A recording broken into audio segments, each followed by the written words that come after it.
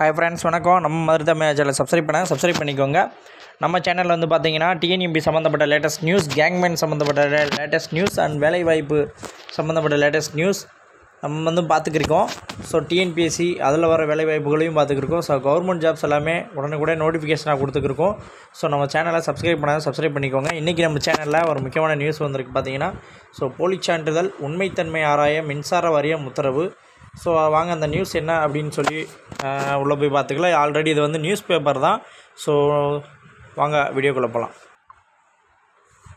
So இதான் friends அந்த news போலிச்சான்று விசாரணைக்கு மின் வாரியம் உத்தரவு ஸோ தினமலரில் அந்த நியூஸ் பேப் நியூஸ் இது ஆகஸ்ட் ஆறாம் தேதி. ஸோ இதை வாசிக்கலாம். தமிழக மின் வாரியத்தில் கடந்த ஆயிரத்தி தொள்ளாயிரத்தி தொண்ணூற்றி இரண்டு டு ரெண்டாயிரத்தி பன்னிரெண்டு வரை ஒப்பந்த ஊழியர்களாக பணியாற்றிய ஐம்பதாயிரம் பேர் பணி நிரந்தரம் செய்யப்பட்டுள்ளனர். அவர்களில் சிலர் கல்வி விளையாட்டுச் சான்றிதழை போலியாக கொடுத்து வேலைக்கு சேர்ந்திருப்பதாக புகார்கள் எழுந்தன. எனவே சான்றிதழின் உண்மைத்தன்மை குறித்து விசாரணை நடத்த மின்வாரியம் உத்தரவிட்டுள்ளது. மின்வாரிய அதிகாரி ஒருவர் கூறியதாவது குறிப்பாக ஆயிரத்தி தொள்ளாயிரத்தி தொண்ணூற்றி ஒன்று தொண்ணூற்றி ரெண்டில் தான் போலீஸ் அன்று கொடுத்து வேலையில் சேர்ந்திருப்பதாக கூறப்படுகிறது.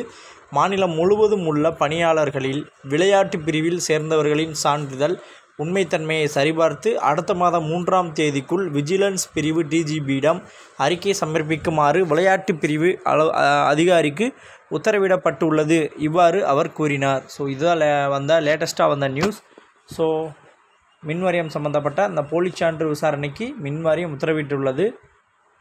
ஸோ அடுத்து அடுத்து நம்ம சேனலில் வேறு ஒரு வேலைவாய்ப்பு செய்தியோடு சந்திக்கலாம். நன்றி ஃப்ரெண்ட்ஸ்